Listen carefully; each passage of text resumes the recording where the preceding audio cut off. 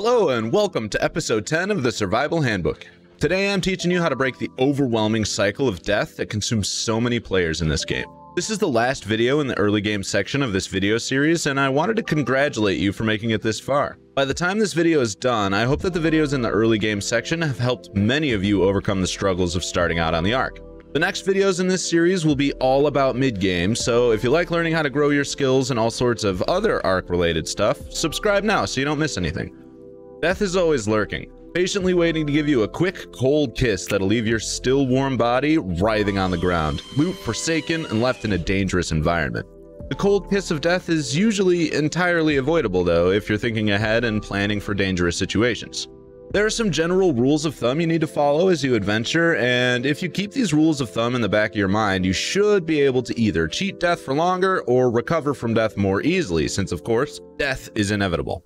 Know your dinos. You need to know which dinos are aggressive, which are passive, and which will attack you if you begin to engage in combat with them. This information will provide you with the answers you need in order to travel properly throughout the Ark, especially if you're on foot.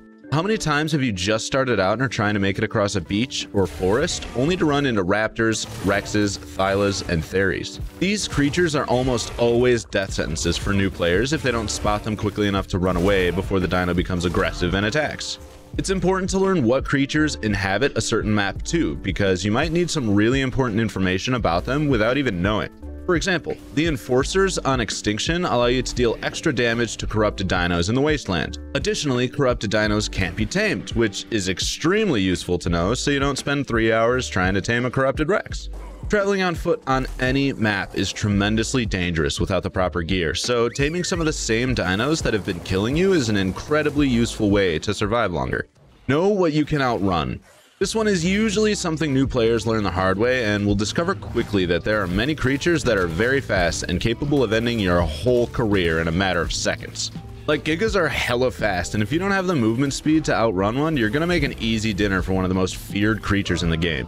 I'll be honest, the base movement speed of 100% is pretty slow, and you're gonna have a really hard time doing much of anything without boosting it, due to the large number of creatures that move much more quickly than you.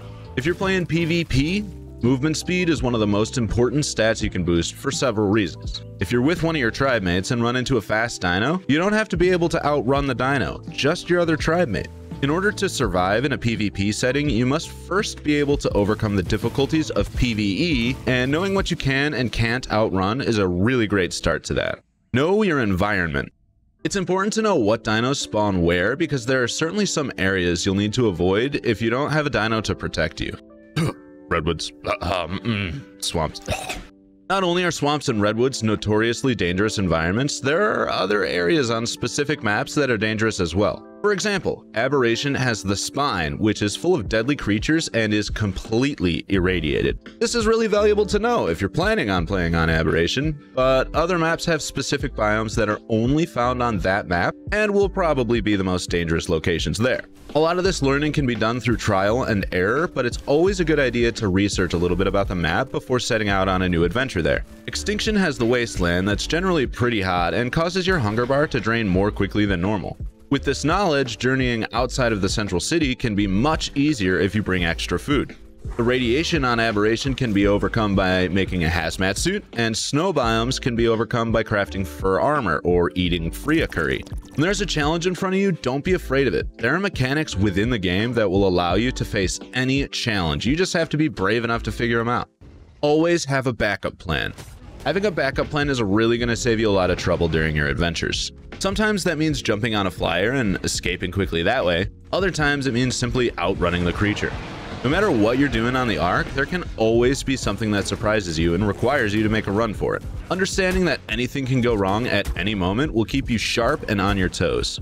While having an escape plan is always a good idea, another really good idea is to keep backup supplies ready to go in your base. Death is inevitable, and when you plan for it, you can eventually overcome it. At the end of the day, you should want to make death meaningless, and what I mean by that is you should be so ridiculously over-prepared that no matter what happens while you're traveling, gathering, fighting, or exploring, you're ready to reset as soon as you get to your base and continue moving forward.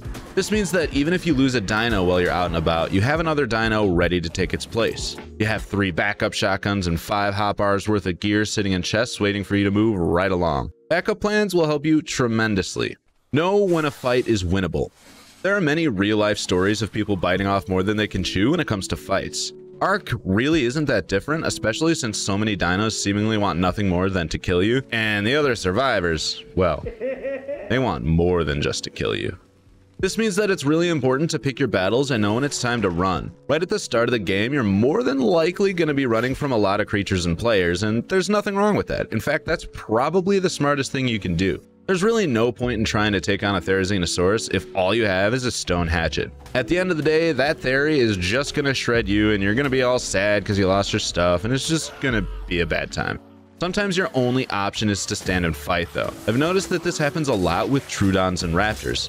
Typically if a Raptor is on you before you can see it, it's gonna chase you down and kill you while you're running away, so you might as well take the chance to try and kill it first. Troodons are a whole nother story, but I've found it's often smarter to try and fight them than trying to run from them if they've already aggroed on you. Knowing when to fight and when to run will keep you alive longer. Nights are extremely dangerous. I'm sure when I mention nighttime, many of you have flashbacks to that one time a squad of Troodons came out of nowhere and killed you and your tame. Or maybe you ran into a player that concealed themselves very well in the night and you were running around with a torch picking berries? We've all done things like this, and we've all faced the hardships of being out at night. Night is unavoidable unless you literally turn it off in the settings or decrease its length to mere seconds. So learning what creatures inhabit the night and how to survive is going to help a lot. The main idea I have for you if you do plan on going out at night is to bring a flyer with you. There are a lot of ground dinos that are super nasty and can sneak up on you by using darkness to their advantage. This is equally true for other players. How many of you Mega Tribe members out there literally wait until nighttime to begin an attack? Using a flyer to get around at night will be extremely useful for you since it keeps you off the ground and helps you move more quickly. The absolute best advice I could give you is to try and avoid the night entirely by crafting supplies you'll need for the next day while you wait. Sometimes that's not an option though, so extreme caution is important at night.